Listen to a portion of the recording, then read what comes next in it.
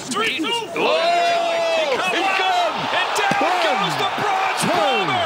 Is this how it ends? Is this the end of Deontay Wilder's career? Finish. He's gone. He's not making this count, son.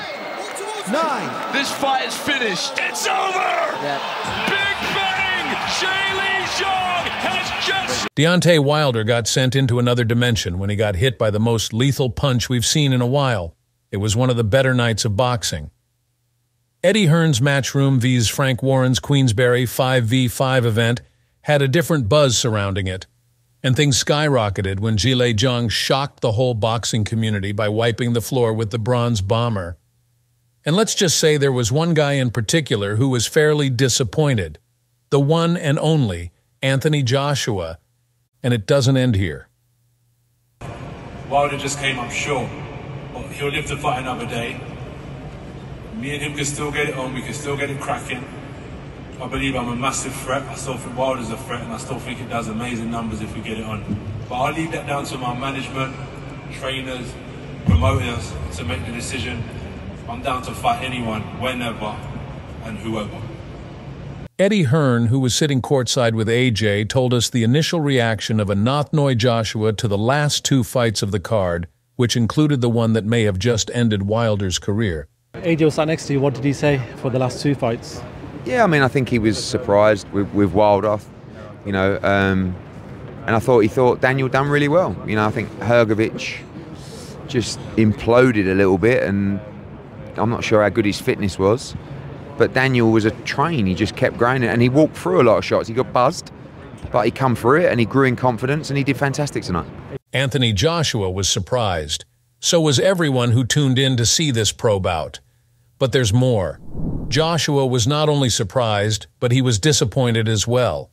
When asked by DAZN if he was disappointed with Wilder's loss, Joshua had some interesting things to say. It is what it is. Come again if you want, but he's got his family and there's a life outside of boxing for him. Joshua vs. Wilder was supposed to be the fight of the decade. At one point, this was all everyone talked about in the boxing community. But with Wilder facing two losses back to back, the hype of what could have been a mega fight is now dead. That one is off the cards. But let me remind you guys, Deontay Wilder was considered to be the most feared fighter of our generation. But on fight night, everyone feared one thing only, and it was the fear for his health after he got dropped onto the canvas. If that's not embarrassing enough, then I don't know what is. Especially considering how much trash talk Wilder did during the build-up. At first, we thought it was his unbreakable confidence and faith in his abilities that was doing all the talking, but now we know it was pure delusion. that that I still got what it takes. I still got the juice, and I'm gonna deliver come Saturday night. I can't wait. I'm gonna be like Ali Liston. I'm gonna st- gonna stand over his body like like like 65, like Ali did like um, um, Lennox um, Liston in 65. So I'm looking forward to the fight. I, I, I can't wait. This has been an absolute pleasure coming back here again, and I must deliver. It's it's do or die, you know, and. uh Y'all already know how I feel as a warrior. I'm a warrior. I got a warrior mentality. I got a warrior mindset. I got a warrior heart. And I'll die for what I believe in. I'm willing to die in the ring for what I believe in. And if a man ain't willing to step in there and die like me, he better step out of that because I'm ready. Zhang made this fight look like a walk in the park for him. And truth be told, it was. Moments after the fight, Zhang was seen smiling and taking pictures with the fans, and that's never been the case for most guys who step into the ring with Deontay Wilder. Now that's a real warrior, if you ask me. Let's take a look at some more shocking reactions. First off, we have the one and only Jake Paul. Everyone had that exact same face when they saw Wilder go down. Teddy Atlas, who is known for coaching the greatest of all time, Mike Tyson, had some things to say from a technical standpoint. And if I were you, I wouldn't miss out on what this guy had to share. Probably retires, but look, that's up to him. Yeah. That ain't to you, me, Teddy Atlas. That, that's up to him. He reached in with the right hand, which is what he's always looking for. He fell into space a little bit. and he got countered with the most dangerous punch in southpaw control. Everyone thinks the most dangerous punch for a southpaw is the left hand, and we all thought it tonight with Zhang, and and it is dangerous. It's the power punch, but for me, it's always the right hook. You know why? Orthodox fighters aren't used to seeing that punch come from that angle. You know, your peripheral doesn't pick it up. Yeah, you just you haven't seen it that much, and it's hard to pick up. And he reached him with right hand. He got counted. Give Zhang credit. He threw the right punch. He counted him with the right hook, and then he followed him. You know, obviously he twisted around. He followed him, which you're supposed to do. You follow the guy, right? Uh, you know, you, you you don't stop till the referee makes you stop. He followed him. He caught him again. He finished him. Teddy Atlas believes Wilder will probably retire, and you can't blame him, can you? Wilder was considered to be one of the best in the scene.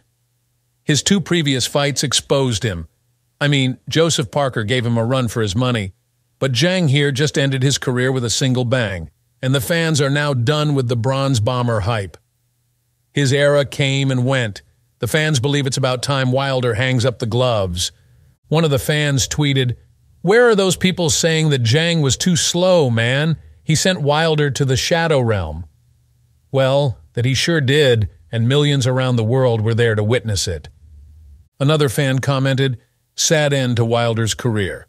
It is indeed sad, but it's time for Wilder to retire for good. He went on one of the most impressive runs in boxing history, KO after KO. He brought the excitement back to the sport like no other and called for every big name. You gotta respect the guy. But it's about time the Bronze Bomber says farewell to the ring. Let's hear it from Eddie Hearn. That guy had the toughest night. All his fighters lost to Frank Warren's fighters. Now that's got a sting. Just not the same. Yeah. In all honesty, you know, um, just feel that his belief's not there anymore, and you know, you've got to ask yourself why. Yeah. Is it just time? Is it something else that's not right? But you know, he, he's not letting his hands go, and, and that's what made him one of the most feared fighters in the world. So, yeah, that's you know, it's all down to sort of personal um, opinion of what's next for him. That's up to him. I mean, look, he's not the fighter that he was. That's at the moment. Yeah. But people come back. But you know, it's, it's deep in the road. I went up to him. I mean, he was very, you know, he, he thought he shouldn't have been stopped, ah. but I don't think there's many that don't feel that way. But obviously, he was frustrated because look, he's, you know, I'm sure he's given everything in camp. He's tried to talk to himself and convince himself that he's still that fighter, and he hasn't been able to perform. So I would think he's incredibly frustrated. But we wish him all the best. Eddie lost 5 0, and on top of that, your best fighter had the worst night of his career. Wilder got bullied by Zhang for five rounds straight before he got swept. This loss is going to be a tough one to swallow for both Wilder and Hearn. But hey, Eddie's still got an ace up his sleeve. And that ace is Anthony Joshua. Anthony Joshua has got a target on his back now. Because Zhang is now going to be gunning for his head. Yep, he called Joshua out after an impressive performance. 赢下比赛，然后这就是我我和我的团队，然后努力的结果。然后所以说，在这里要感谢我的团队，感谢我的朋友，感谢我的球迷对我的支持，对我的鼓励， 嗯，都非常好，都非常好。然后他的力量也在，但是今天我的防守也做得特别好。然后他有几拳，然后也打中我了，嗯，力量还在。因为在打这一拳之后，然后有一拳就看着打他的迎击拳，迎击拳之后假动作，然后晃他引引他出拳，引他出拳，然后打他迎迎击拳，然后打中了。打中之后，他脑子有点晕，然后又上去补了一拳。下一步打谁？有二番战协议，然后 AJ 没有对手，都可以。But here comes the interesting part. Zhang is not the only one after AJ. Another fighter who raised many eyebrows with his notable performance, Daniel Dubois also wants a shot at the head of the table. AJ Wembley Dubois versus AJ. Is that what you're thinking? That's what's been what I've been hearing. So let's see.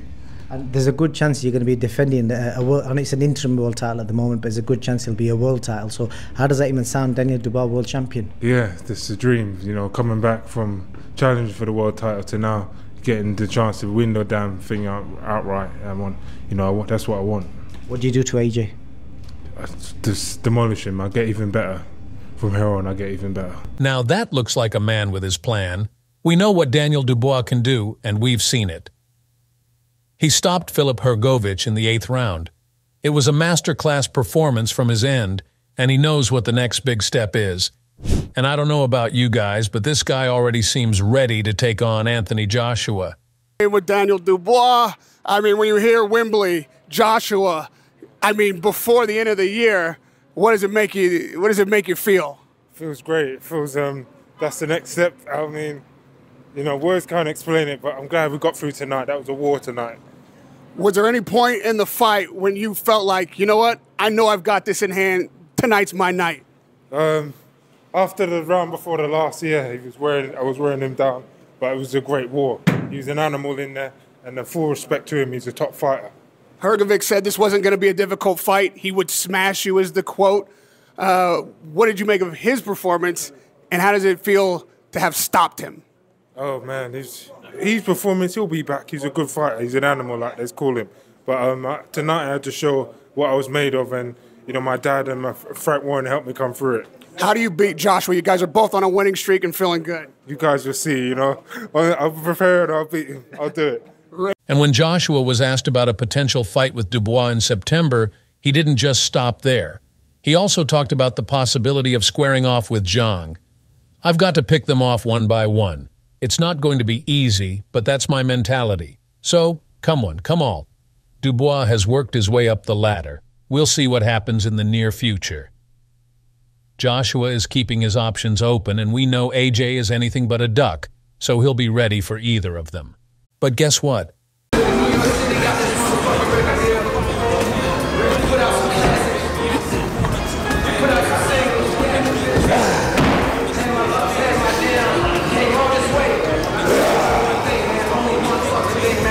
Daniel Dubois versus Joshua has already started making a lot of rounds on the internet, and according to Eddie Hearn, it's highly likely that this fight will see the light of day. Are we looking at Dubois now for AJ next? Quite possibly, yeah. We're going to go and talk now to His Excellency. I've got to go to his for a meeting, and then we'll, um, you know, we'll, we'll see what's next. I think if the fight against Hrgovic could be, uh, Dubois could be made for the world heavyweight title, two Brits at Wembley, could be an option. This could be the next big thing even though it was Wilder who was supposed to take on Joshua. But hey, it's best that Wilder only takes a permanent vacation from boxing. If Zhang can cause this much damage to Wilder, you can only imagine the hell Anthony Joshua would have unleashed upon him. But hey, you never know maybe this loss brings back the old Wilder. If that's the case, then it's bye-bye for everybody. So that's all from today's video.